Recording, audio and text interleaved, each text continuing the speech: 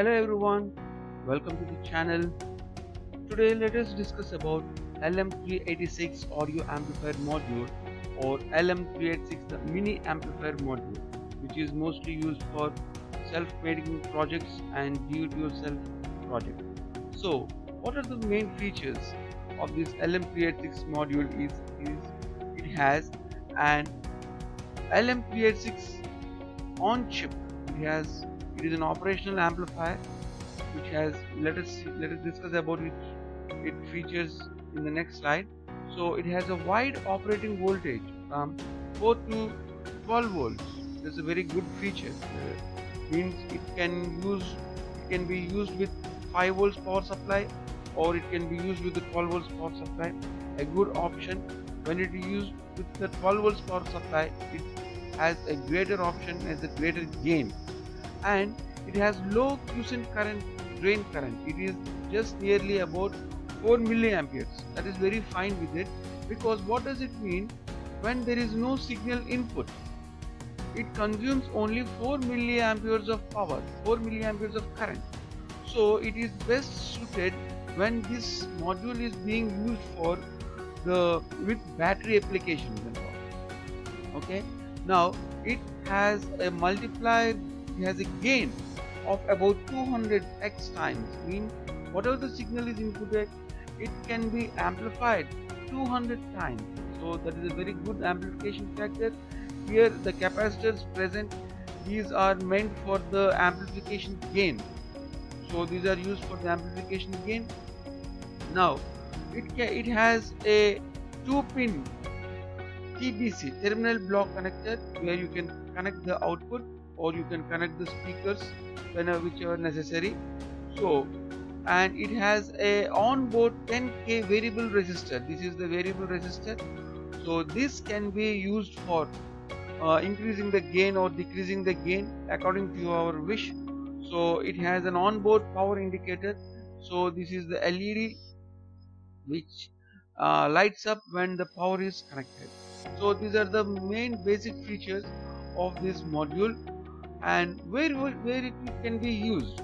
Can be used in AM FM radio amplifiers. Means soon as soon as the FM signal or the or the amplitude modulation is demodulated or FM modulation is demodulated you get the voice signal.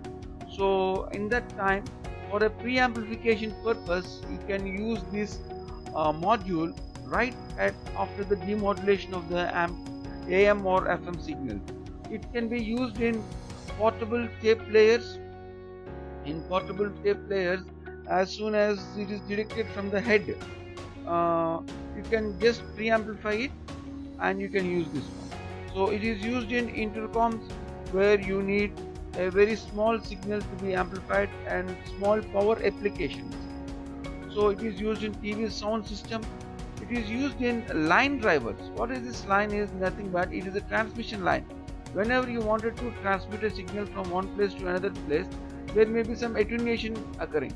So if you use this in between uh, the transmission lines of a, of a certain frequencies you can uh, gain you can put some gain for the attenuation that was caused in the transmission line. And it is used in ultrasonic drivers. So ultrasonic means some some sensors need the converts the input signal to the ultrasonic sound. Means the ultrasonic sound is delivered. So if the signal is very low you can amplify the signal with this module and can input to a ultrasonic sound transmitter so that you can transmit the ultrasonic sound for a longer distance. So this is one of the application and it is used in small servo drivers. So basically this module cannot be used. Why? Because what is this servo drivers? You have a PWM signal of ranging from 2 volts. But this 2 volts PWM signal cannot drive uh, the needed servo so you can uh, amplify this 2 volts PWM signal to a larger extent up to 10 volt signal 10 volt signal when the input signal is connected when the input voltage is connected at 12 volts. So you can you can amplitude a 2 volts PWM signal to a 10 volt PWM signal and you can drive up the your small servo motor.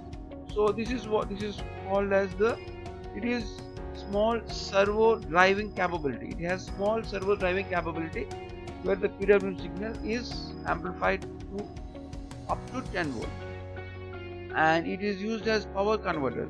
So since it, it has a 200x amplification capability it can use uh, in small conversions of the power. Now connecting with the condenser mic. So this is the condenser mic uh, where the input changes are reflected here as the change in the capacitance of the module. So when uh, this this can be connected to your required voltage 5 volts or 12 volts the same pin can be connected here. So now this is the uh, voice output in the form of electrical signal. This can be connected here and the two ground pins are interconnected inside. So they are directly connected and you can connect this and you can connect these two and you can connect directly here and this comes to the seems to be the ground and here directly you can connect you your 5 volts or your VCC 5 or 12 5 or 12 so you can connect it Uh, so here you can connect it to the input signal. So whenever this voice is given over here it converts to electrical a very low voltage signal and then it is amplified in this module. And here you can connect the speaker. This is shown in the next video. So these are the small applications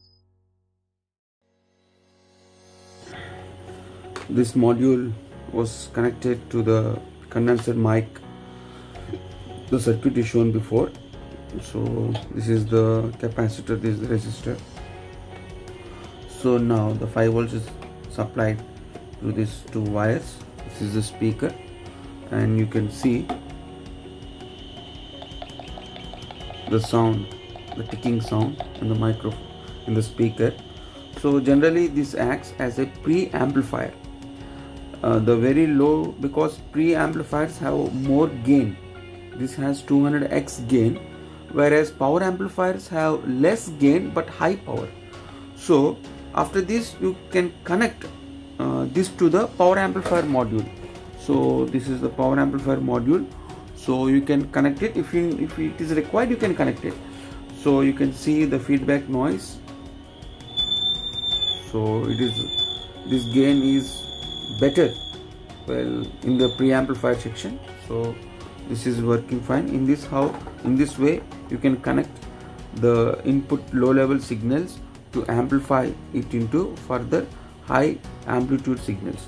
Thank you. Thank you for watching this video